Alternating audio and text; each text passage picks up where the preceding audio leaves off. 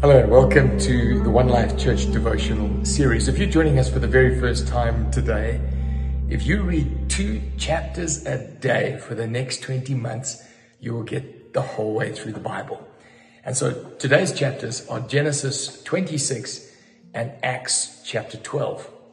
Now I'm sitting here in my kitchen at home and I don't know how often you, you think about this the water that, in my particular instance, comes straight up from under the ground, we've got a borehole, is just always on tap.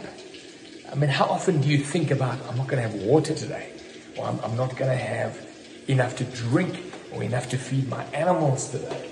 It's just something we take as given. But when you read the Bible, water signified life.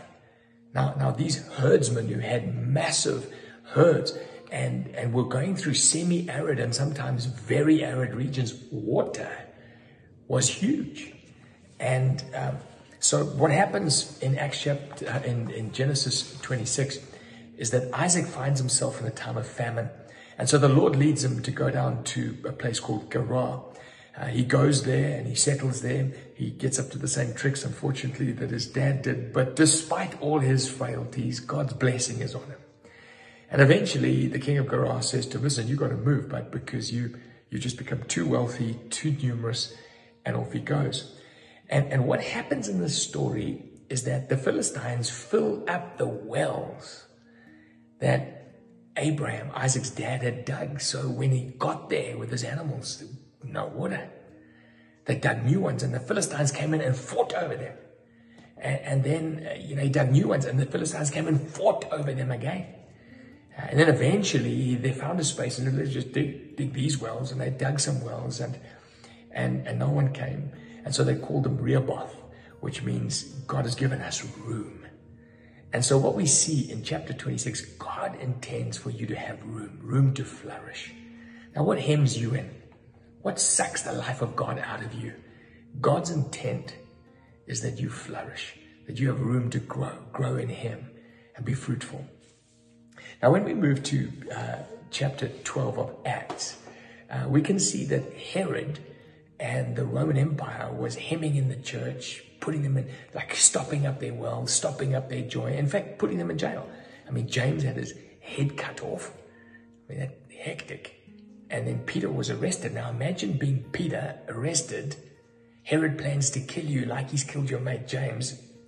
And we find Peter asleep how do you feel that? How do you sleep when your mate has been beheaded? Well, you know, Peter knew God intended him to live in a spacious place. And God had already said to Peter, You're going to be an old man. Someone's going to lead you around when you're an old man. And, and there he was, young man in jail, knowing he can trust God for his future. He can trust God to, to bring him into a spacious place. And that's exactly what happens here. Yeah, the disciples are busy interceding and praying for Peter. Uh, an angel comes, wakes Peter up, uh, leads him out of the jail, miraculously opens the doors. In fact, it's quite humorous. He gets to the prayer meeting, knocks on the door, and the servant called Rhoda comes down, rushes upstairs, says, Peter's here. They said, can't be, he's in jail. That, but you be praying for him to be freed, and he now actually is freed. God, you put him into a spacious place. No, no, no, it's got to be his angel, which is another interesting thing that God will assign angels to us. Eventually, they, they believe her, and Peter comes up and he explains what's happened. And then he says, Peter says, listen, tell the other disciples what's happened to me. This is going to really encourage them. God does not intend us to be confined. It's not that we're not going to go through tough times, not that we're not going to have the enemy come up against us. But, but Peter moves into this really uh, spacious place of preaching the gospel. And despite the Philistines' plans to stop up the wells, to stop up the life of God, he carries on. And this is how this chapter ends uh, chapter 12 ends like this But the word of God continued to spread and to flourish. Just like Isaac, uh, regardless of what the Philistines were stopping up and how water had become scarce, Isaac continued to flourish. Now, I'm not suggesting that God wants to make your life comfortable all the time. He doesn't. He uses hardship to mold you and to shape you. But this I am certain of. God wants to bless you. He wants to move you into a spacious place, even when you're confined, even when you're in jail, even when the water has dried up.